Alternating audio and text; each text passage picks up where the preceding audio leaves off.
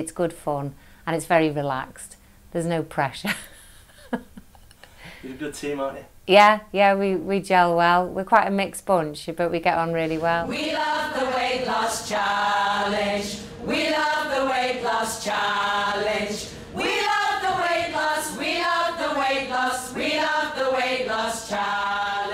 I just got to a point where workload is so heavy. I come in early, go home late. Not much daytime during the week to do whatever I need. I started to get tired and depressed.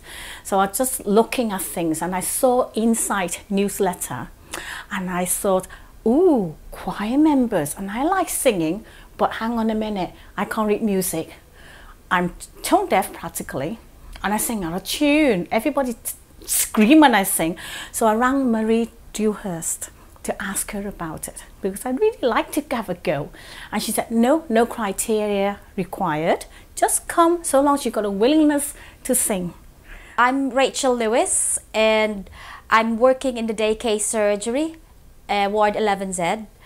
Uh, I joined the choir because it's enjoyable and I love to sing and I wanted to do something different and just to distress um, myself after work and enjoy with my mates in the choir.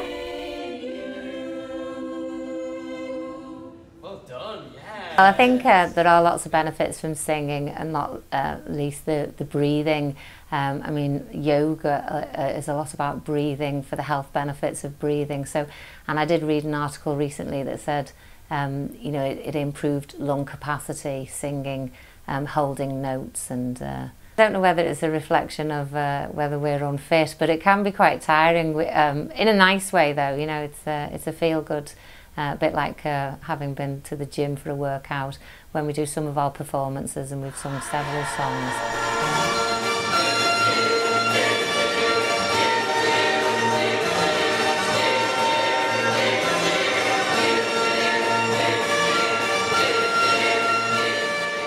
Although we meet and rehearse in the canteen. When we go to perform, we're in quite glamorous surroundings. We've played the Palm House. Um, uh, they play St George's Hall. I've not done that one. We're about to uh, perform in the Anglican Cathedral as part of Light Night. So, yeah. Just be brave and make that take that first step and come and join us. A lot of people say, "Oh, I don't know. I don't know. Oh, I can't sing." Don't just take the courage to take that first move first. So long as you're working in NHS, you're welcome to join the choir. We need members, we need new blood, we need new voices, and we need strong male voices.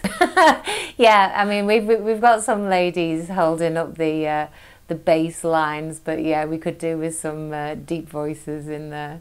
Although mine's pretty deep. I actually recommend everyone to join us because we don't bite. We're friendly people. Loss challenge. We love the, we love